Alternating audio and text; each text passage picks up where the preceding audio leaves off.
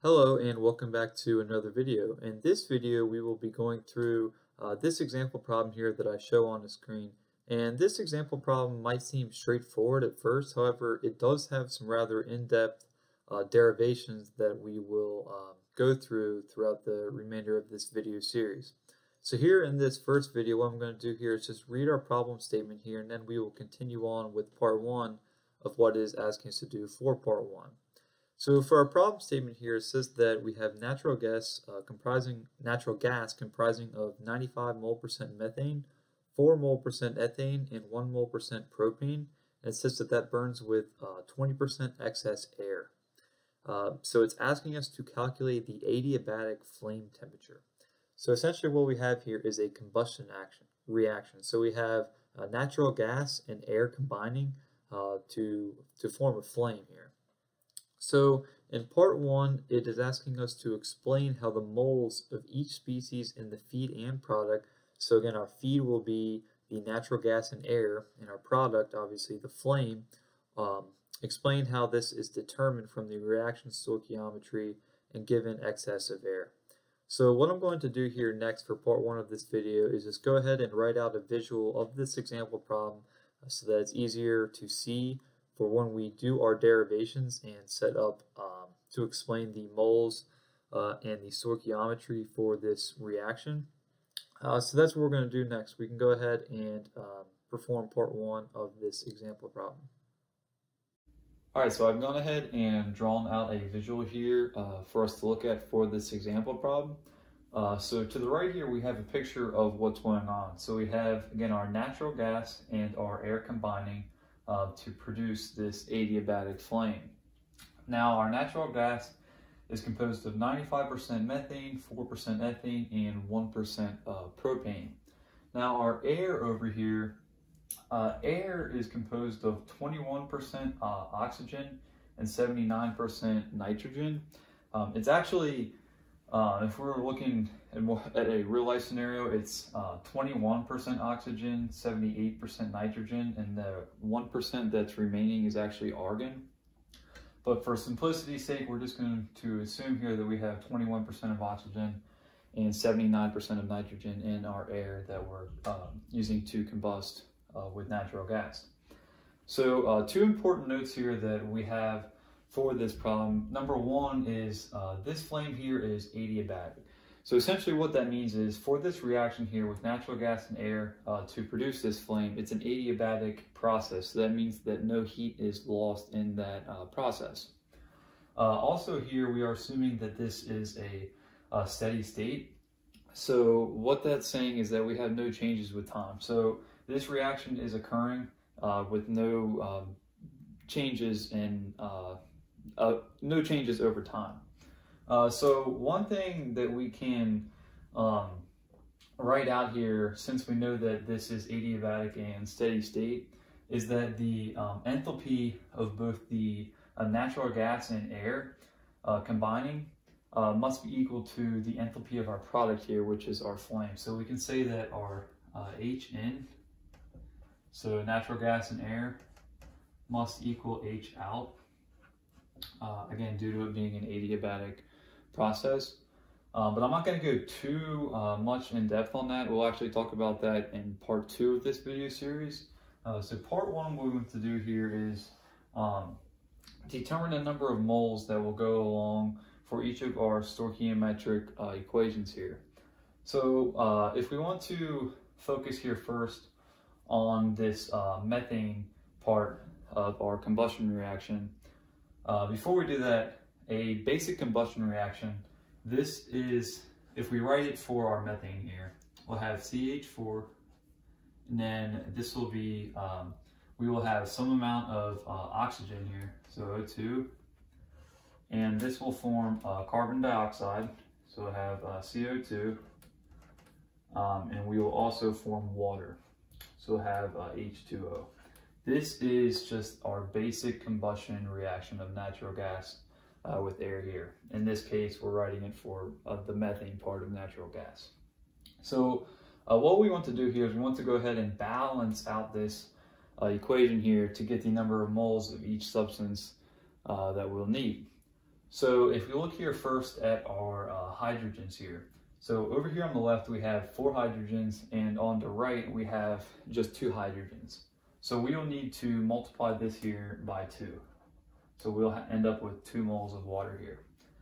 So now if we look at our oxygen here, we have two oxygen, two oxygens over here, and we have uh, now four oxygens over here. So we need to multiply this uh, here by two so that the oxygens balance out. Uh, but you might be wondering here, well, number one, why did I leave this big blank space here? And two, what happened to nitrogen? Aren't we burning this um, with air, not just pure oxygen? And that's true. So what we're going to do here is if we look at our air here, if we have two moles of oxygen here, how much air, or how much nitrogen will go along uh, with these two moles of oxygen? Well, we'll have uh, two moles and the ratio of nitrogen to oxygen is 79 to 21. So we'll have to multiply this by 79 over 21 and that will give us the moles of nitrogen.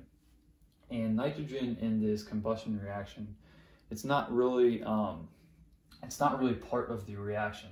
We see it here and we also see it here.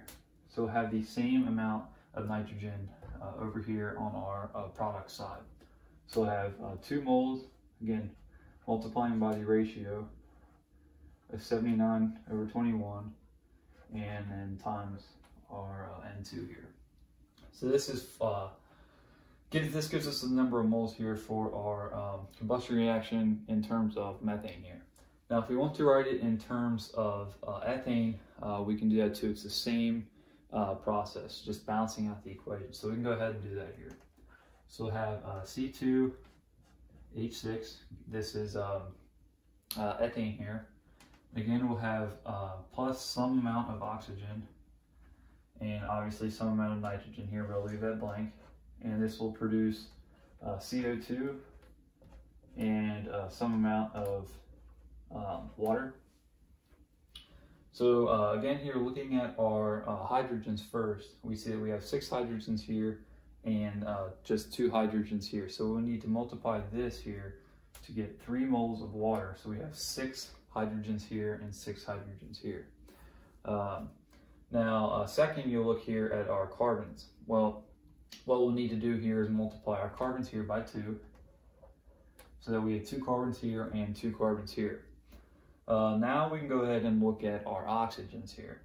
So here on the left we just have two oxygens and on the right here we have four oxygens plus three oxygens so we have seven oxygens. So what we need to do here is actually multiply this by 7 over 2 because uh, if we multiply this by two oxygens, these two will cancel out and we'll have uh, seven moles of oxygen over here and seven moles of oxygen over here. So we're good there. Now, if we have uh, seven over two moles of oxygen here, what will we need to um, burn, or what amount of nitrogen will we need to bring along with us for this reaction? Uh, well, we'll need uh, seven over two, and again, multiplying by the ratio of nitrogen to oxygen, we will have uh, 71 or 79 over 21, excuse me, um, uh, moles of nitrogen. So have 7 over 2 and then times the ratio. That will give us the amount of nitrogen here for this reaction. And again, nitrogen um, essentially just goes along for the ride in this reaction. We see it both in the reactants and the products. So we have uh, 7 over 2 times the ratio of nitrogen to oxygen, 79 over 21 uh, and 2 here. So we can go ahead and do go uh, down and do this again for our propane here. But you see the process here. I'm not going to get too in depth on it. Um, when we actually go into Python here, when we're doing our calculations to determine the temperature of our flame here, we'll actually be doing some, some different um, sort of crazy things with our calculations. We'll be doing um, a matrix multiplication to determine certain amount of moles uh, for our reactions. But we'll get into that later um, in part four of this video. Now, one other thing that we need to note here, I'm not going to write it down just because we have way too many numbers here. Uh, I don't want to get too confusing here, but we have to take into account, if you remember when I read the um, problem statement, that we have 20% um, of excess air.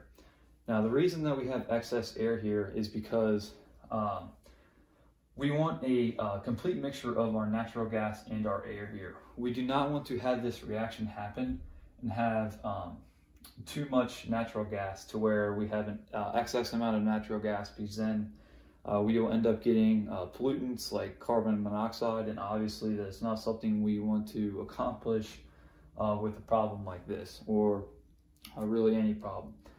So in order to account for that um, amount of 20% of excess air, what we'll need to do here is multiply our oxygen um, by 120% uh, or 1.2.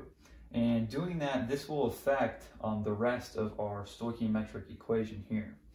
So when we do our calculations, we will um, take this into account. So we'll multiply this by um, 1.2 or 120% because we have 20% excess air. This will affect the number of moles of the rest of our equation. We will see that.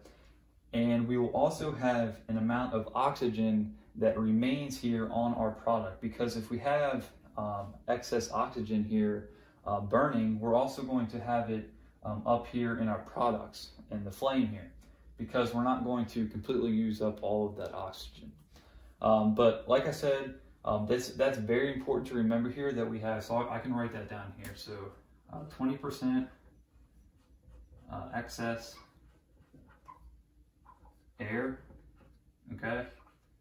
So again, this will affect the entire stoichiometric equation. I'm not going to write it down right now just because we got a lot of numbers going on here, but that is important to remember and we will run into that scenario when we're actually doing our calculations in part uh, three and four of this video to determine the temperature of the flame here.